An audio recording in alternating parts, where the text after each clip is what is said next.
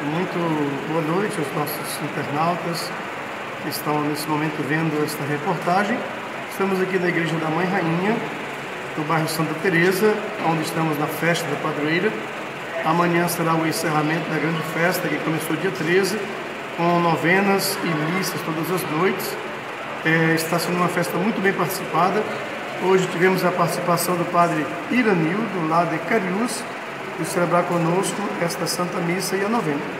Amanhã é o encerramento. Durante essa festa, nós fizemos os casamentos comunitários, que foram mais foram 16 casais que vieram aqui se casar para regularizar a sua situação diante de Deus e da igreja.